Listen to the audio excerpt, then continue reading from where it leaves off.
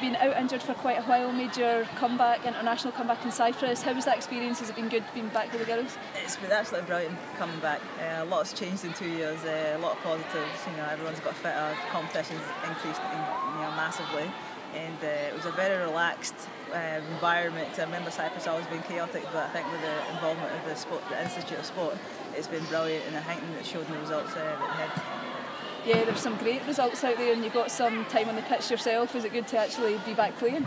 It's a bit nervous, you know. Obviously, I've been back, you know, pre-season training with my club, playing games and stuff. But obviously, training, you know, like playing games over there and playing against, say, like France was completely different. And uh, I remember when Anna spoke to me about it, I wasn't quite sure that I was ready to step right at the playing against France. Uh, but just obviously, you know, was from her and just, you know, just keeping it simple and just try to remember like how it was two years ago. And uh, you know, obviously my teammates were a big part of that. So it was just like I've never away, so it was good to be back, and it was a great result for the team.